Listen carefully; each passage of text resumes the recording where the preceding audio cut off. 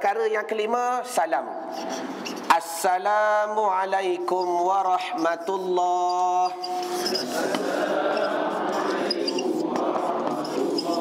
Assalamualaikum warahmatullahi Baik cerita hukum dahulu. Yang pertama bacaannya wajib Berpaling itu su, sunat Maka bila sunat tak payah bergaduh Tak payah berbalah Buatlah lagu mana yang kita pelajari akan dia Satu Yang kedua, yang ni penting Dengar dah Salam ni di antara bacaan yang wajib dibaca dalam semayang dengan ber, dengan betul. Wajib bagi siapa? Ha, cuba jawab. Wajib bagi mereka yang Allah Ta'ala beri kemudahan Tetapi kalau mereka dah belajar Kalau tak boleh baca dengan betul Semayang sah tak? Sah ha, dah. Yang penting belajar Dah? Berubah tak berubah nombor dua. Melainkan imam. Jangan kalau imam salah baca kita baik sangka. Ha, Tak apalah imam tu belajar juga tak boleh. Sebab imam merupakan orang yang dipilih, dipilih. Tapi kalau makmum dah, Dia baca Assalamualaikum kita dengar bunyi asyala Tengok muka dia Esok mau waktu mengaji dia ada Ikut dia lah semayang dia sah. Kerana apa? Boleh jadi Allah Ta'ala tak pilih lidah dia untuk berubah. Baik. Kesimpulannya dengar baik-baik dah perbedaan takbir dengan salam dua-dua ni wajib dibaca dengan betul. Tetapi sekiranya takbir salah baca maka semayang tak jadi wajib ulang balik. Sekiranya salam salah baca semayang masih lagi masih lagi jadi kalau kita ulang balik. Faham ada ibarat? Perbedaan takbir dengan salam. Contoh Allahu Akbar. Ha contoh, dia baca hu panjang. Boleh tak boleh? Tak boleh rosak semayang. Kita bukan kata batal semayang, kita kata rosak. Kenapa tak batal? Seorang tolong jawab. Tak boleh jawab belaka ni Allahumma salli Dah Allahu Akbar Itu tak apa Jangan kita kita dengar Yang banyak orang buat maaf dah Banyak orang-orang yang veteran Bukan tua veteran Dia buat begini Allah Ada tak Haji? Ada Yang begini ramai Allahu Akbar Memanjangkan A Ibarat menambah huruf istifham Semayang, semayang sah tak? Ya? Ha sudah. Sah ke tak sah? Dengar dah, sebagai orang dah mengaji, duduk di tengah-tengah. Tengok dia orang mengaji ke tak? Kalau dia orang mengaji, kita kata sah. Kalau dia jenis tak mengaji, datang ketika nak kenuri anak sahaja, datang ketika nak kematian sahaja, kita hukum sebenarnya tak sah. Itu perbedaan. Kenapa yang mengaji sah? Dia dah mengaji tapi Tuhan tak beri dia untuk berubah. berubah. Kerana merubah tu datang daripada Allah. Yang wajib kita berusaha. Hak tu dah memang muka bukan kaki mengaji. Dah mas nak kenuri anak baru nak datang, mas nak tahlil baru nak datang dan sebagainya. Ha yang ni kita hukum tidak sah. Baik. Tetapi begini, sekiranya dilakukan Allahu Akbar, kalau dia berasa semayang dia bacaan tidak betul maka wajib dia ulang balik semayang rosak tetapi perbezaan kalau salam tak betul. Assalamualaikum warahmatullahi contoh sedangkan antara syarat salam tidak boleh menggugurkan sabdu wajib dibaca as-salam tetapi si Anu dia baca Assalamualaikum warahmatullahi Sekiranya dia merasakan bacaan dia salah Maka wajib dia ulang balik Semayang tidak rosak selagi mana tak sampai kepada salam yang kedua. Jelas? Dah? Bermakna begini. Takbir kalau tak betul, semayang tak sah. Salam kalau tak betul, semayang sah. Tapi dua-dua wajib ulang balik. Macam pening je ni Allahumma salli ala. Cuba bagi feedback Dah kita ulang balik. Takbir Kalau tak betul baca Semayang rosak. Bermakna kena takbir lain. Salam Kalau salah baca Semayang masih lagi sah. Syarat kena ulang balik. Contoh Allahu Akbar. Salah baca ni contoh dah Maka wajib diulang balik. Tetapi kalau salam Assalamualaikum warahmatullahi Dia berasa eh salah baca tadi Contoh. Dia berasa kalau cakap batas semayang lah. Ha, dah. Bila dia berasa wajib diulang balik. Assalamualaikum warahmatullahi Assalamualaikum warahmatullahi Jelas? Tetapi sehingga salam yang kedua. Assalamualaikum warahmatullahi Assalamualaikum warahmatullahi Oh sudah. Tak betul aku baca tadi. Boleh ulang balik tak? Tak boleh Pahaman ibarat. Ha, Ini perbezaan Baik. Sikit lagi. Bila mana Assalamualaikum wajib dibaca dengan betul Maka sekurang-kurangnya kita berusaha sekadar yang mampu. Kaedah. Bila mana ada sabdu apa arti dia? Ada dua huruf. Okey.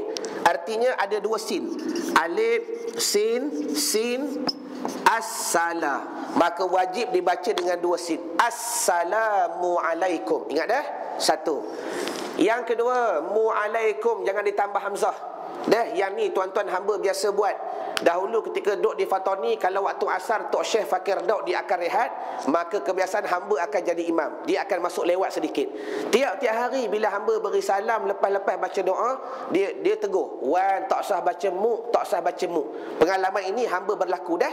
Dulu ketika semayang Hamba duduk baca Assalamualaikum Maka bila dah keluar dari pondok Baru Tuhan buka berkepahaman Buang sabdu Baca mu Assalamualaikum Dah jangan baca mu Dua. Yang ketiga, kum warahmatullah. Ta, jaga. Kalau tuan-tuan belajar tajwid, kalau hamba salah, minta ditegur. Dalam Quran, ta cuma ada dua. Satu, ta marbutah. Yang kedua, ta taknis. Betul tak? Baik. Dengar dah. Sekiranya wakaf berbeza, mana mungkin sambung pun sama? Contoh,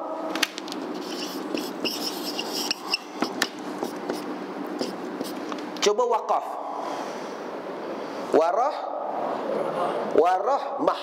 Betul. Kalau kita wakaf bunyi ha. Yang ini Cuba wakaf muslimat. Betul dah? Kita jawab sekiranya wakaf berbeza, yang ini bunyi ha, yang ini bunyi ta muslimat, yang ini warahmah. Mana mungkin sambung pun sama. Ramai yang kadang-kadang imam Assalamualaikum warahmatullahi. Dengar sedap tapi salah. Sedangkan sifat ta marbutah bukan taknis. Yang taknis ta ini Bermakna jaga lidah. Dibaca Assalamualaikum warahmatullahi. Jangan tukar ta Dah? Tapi kalau tertukar tak batas semayang Kerana perbahasan kita pun tahsin salah Nak mencantikkan lagi sembah, sembahyang. Assalamualaikum warahmatullahi Jangan dibaca. Baca Assalamualaikum warahmatullahi Dah tak say tul-tul Itu bukan ta ini Ta yang A ini. Baik baca semua. Assalamualaikum warahmatullahi Baca. Assalamualaikum warahmatullahi Baik Baca dengan memandang ke kanan berpaling Assalamualaikum warahmatullahi Assalamualaikum Ke kiri pula Assalamualaikum warahmatullahi Baik, semua letak tangan di atas ubun-ubun. Ha, sudah. Mana ubun-ubun? Dah? Ha. Mana ubun-ubun? Ha, hak ni depan ni. Sudah. Mana ubun-ubun? Ha, haji depan ni. Dah? Ubun-ubun mana? Dah ubun-ubun di tengah-tengah ni. Ha dah. Bermakna tak sampai tengah di sini. Ubun-ubun ni apa dia tuan-tuan jaga ni tempat turunnya apa tu? Uh, pengetahuan dan hidayah daripada Allah Taala yang tertulis di Lauh Mahfuz bila sampai takdir turun di ubun-ubun. Sebab tu kaedah pergerakan movement manusia ni, tuan-tuan nak beda macam mana perbuatan Allah dengan perbuatan makhluk, bedanya begini. Asalnya contoh tertulis di Lauh Mahfuz, dah, oh sekian-sekian hari bulan kamu akan pergi ke surau. Maka bila sampai waktu tu, maka perkara tu akan masuk di ubun-ubun sampai ke hati. Oi, berasa nak pergi surau lah hari ini ini takdir daripada Allah Ta'ala. Maka hati tadi tak akan menggerakkan anggota kerana anggota akan digerakkan oleh akal. Maka hati itu akan flash ke otak.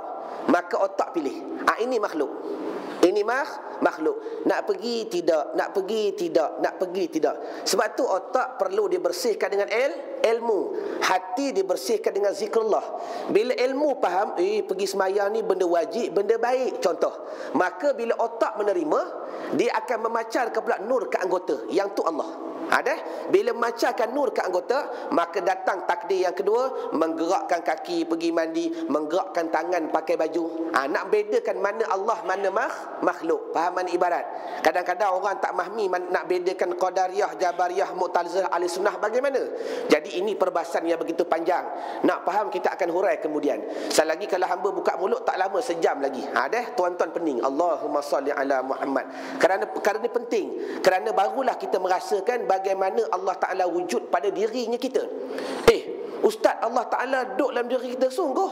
Dalam Quran kata Nahnu aqrabu ilaihi min hablil warid. Bermula kami terlebih hampir dengan kamu daripada urat tu kamu. Tuhan dekat kita tak? Dekat. Wahuwa ma'akum aynama kuntum. Aku serta dengan kamu di mana kamu berada. Nak faham zuhir, nak faham batin. Bagi nak faham, itu kena mengaji. Bermakna Allah Ta'ala tak terlepas daripada sekelilingnya kita. Jangan kita merasa Tuhan duduk di luarnya kita. Ha, Ini yang kadang-kadang mengakibatkan Bila kita berdoa pandang kod lain. Sedangkan Allah Taala tak pernah terpisah daripada kehidupan kita zahir dan ba dan batin. Bermakna Tuhan bukan di dalam Tuhan bukan di luar. Tetapi di mana Tuhan? Wallahu alam. Tetapi ada konsep yang perlu kita faham. Habis. Jadi letak tangan di ubun-ubun letak semua. Dah Hamba nak baca bahasa Arab, tuan-tuan boleh baca sekali pun tak apa dah. Selepas ni tak beramal, tak apa. Yang penting baca bahasa Melayu. Ashhadu an la ilaha illallah. Baca. Hur-Rahmanur Rahim. Allahumma azhib annil hamma wal hazan. Yang ada janggut tolong raut. Sunat dah. Ha. Bermakna bermula pada hari ini barang siapa nak beramal kalau boleh menghafal bahasa Arab terbaik. Kalau tak boleh hafal bahasa Arab buat bahasa Melayu pun tak apa. Yang penting ada amal amalan. Kadang-kadang puak Wahabi marah kita betul juga dia kata buat benda bidah. Kerana kita buat tanpa mengaji. Hari ini belajar. Kaedah menyapu kepala terdapat beberapa hadis. Nak hadis banyak kita boleh bentangkan. Walaupun setengah ulama kata dhaif, kita jawab dhaif bukan pada hadis, dhaif pada riwayat. Dhaif masih lagi boleh digunakan. Cuma tak dibentang kepada hujah dan sebagainya. Baik. Maka nak beramal lagu mana? Tuan-tuan letak di ubun gunakan bahasa Melayu. Ya Allah jauhkan aku daripada keluh kesah dan duka cita ingat dia ayat dia jauhkan aku daripada keluh kesah dan duka cita jadi mana mungkin perbuatan sapu muka ni bid'ah setengah-setengah orang kata nabi sapu muka sebab ada pasir kita jawab tidak kerana di sebalik tu ada doa yang nabi gunakan yang ni pendek tuan-tuan. Dalam kitab-kitab hadis ada yang Nabi baca lagi pa panjang. Yang sehingga berkata Ibnu Mas'ud sehingga aku melihat Nabi meraut janggutnya yang mulia. Jadi siapa yang ada janggut selepas sapu muka, ya Allah jauhkan aku daripada keluh kesah dan duka cita, raut jang janggut. Ha, ada? Yang tak ada janggut sudah. Hmm. Oh jawab. Yang tak ada janggut bela janggut Allahumma salli ala Muhammad ha, dah Assalamualaikum warahmatullahi baca Assalamualaikum warahmatullahi Ya Allah ya Tuhanku Jauhkan aku daripada keluh kesah Dan duka cita Wallahu alam tak faham tanya tak tanya faham. Ha sila muslimat. Bata-bata abai ipa yang tinggal serumah. Okey dengar deh. Baik. Aurat ipar ada dua. Pertama ipar yang duduk di rumah kita. Yang kedua ipar yang tak duduk di rumah kita datang ziarah ziarah. Baik. Kata ulama ipar yang duduk di rumah kita maka tudung hukumnya wajib Cuma direngankan bet, lengan dan betis. Direngankan. Maknanya kalau tengah basuh pinggan, dah kita selak apa tu? Lengan maka dimaafkan ulama. Dah kalau kita tengah tak pakai stokin di rumah maka dimaafkan ula ulama kerana ipar yang duduk bersama kita tapi ipar yang datang ziarah kita. Oh seminggu sekali adik kita datang. Adik perempuan kita dengan suami dia. Bermakna abang ipar tak?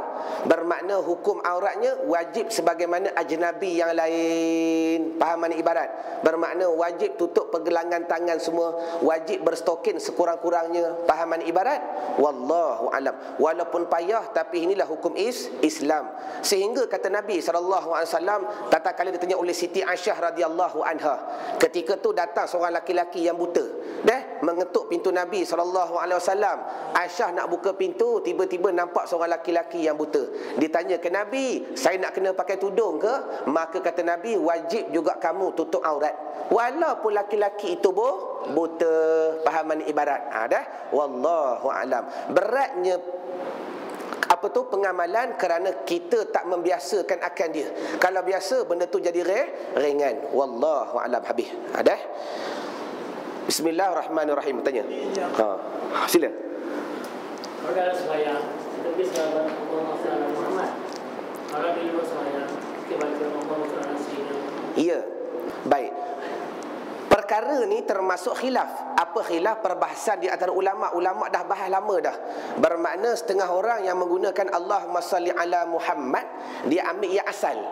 Kalau setengah orang mengambil Allahumma salli ala Sayyidina Muhammad Diambil perkara yang telah difatwakan oleh para-para sahabat Kerana apa? Nak besarkan Nabi SAW Maka hukum beriman dengan sahabat Mengikut sahabat juga mengikut Nabi SAW Dalil semayang sunat wuduk Semayang sunat wuduk siapa yang buat? Nabi pernah buat tak?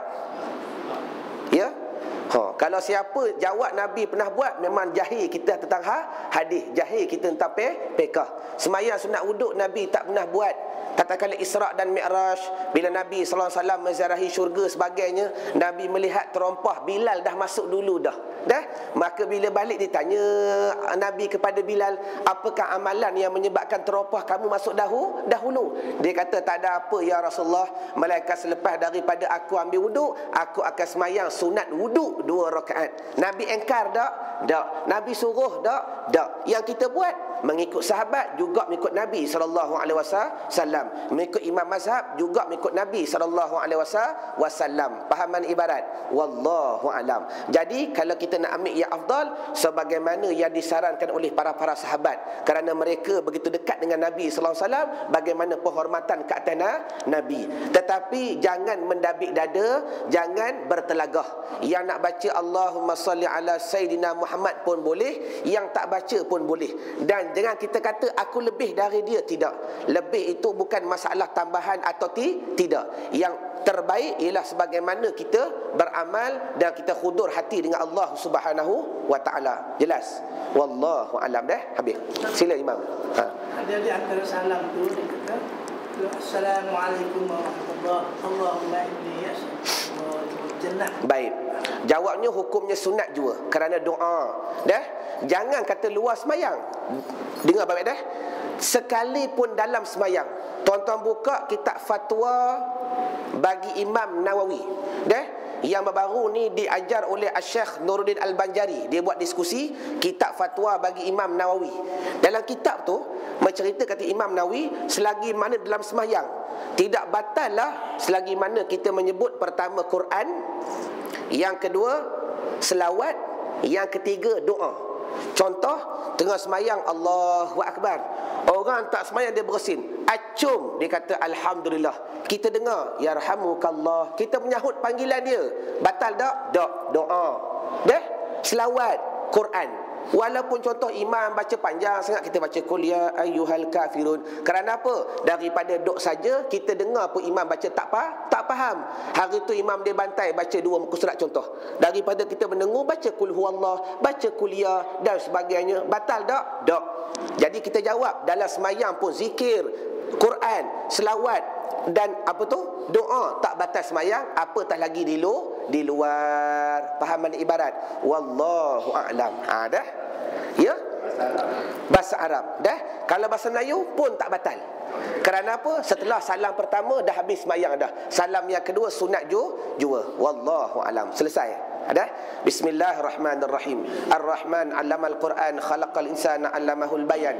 Asy-syamsu wal qamaru bihusban wan najmu wasyajaru yasjudan. La tuharrik bihi lisanaka lita'jala bih. Inna 'alaina jam'ahu wa qur'anah. Fa idza qara'nahu fattabi' qur'anah. Thumma inna 'alaina bayanah. Bal huwa Qur'anun Majid fi lauhin mahfuz. Sanuqri'uka fala tansa, sanuqri'uka fala tansa, sanuqri'uka fala tansa. Ya Allah, apa-apa yang kami dengar janganlah engkau lupakan. Ya Allah, apa-apa yang kami ulang janganlah engkau lupakan. Ya Allah, apa-apa yang kami tulis janganlah engkau lupakan. Allahumma salli ala sayyidina Muhammad sirri hayatil wujudi wa sababil a'zami likulli mawjudin salatan tuhafizuna bihal Quran wa tufahimuna bihal ayat wa tahfazuna biha su'al qawli wal amali wa niyat wa ala alihi wa sahbihi wa barik wa sallim walhamdulillah rabbil alamin maka dengan lapar bismillah telah khatamlah pengajian kita maka kepada Tuan Halim kalau boleh pilih satu hari hari Sabtu atau Ahad waktu duha mana-mana jemaah nak datang untuk membaca dengan berserangan diri maka dia dialu-alukan. Dan kemudian hamba beri ijazah dan insya-Allah bermula daripada bulan hadapan kita akan bermula baca ki, kitab. Wallahu alam. Assalamualaikum warahmatullahi wabarakatuh